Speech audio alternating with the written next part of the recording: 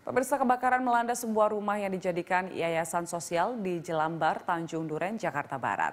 Tidak ada korban dalam kejadian itu namun sejumlah peralatan bansos untuk orang cacat hangus terbakar. Diduga akibat korsleting listrik dari lantai satu, percikan api cepat membesar dan membakar rumah di Jalan Hadian, Jelambar, Jakarta Barat pada Jumat sore. Terlebih di dalam rumah banyak tersimpan barang-barang yang mudah terbakar. Petugas pemadam kebakaran yang tiba di lokasi agak kesulitan memadamkan api karena tiupan angin sangat kencang. Tapi api berhasil dipadamkan setelah satu jam.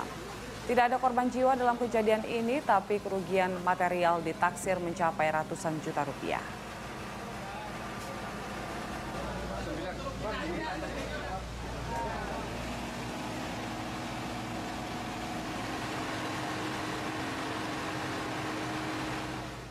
Permanen uh, sementara kita bulan Juli.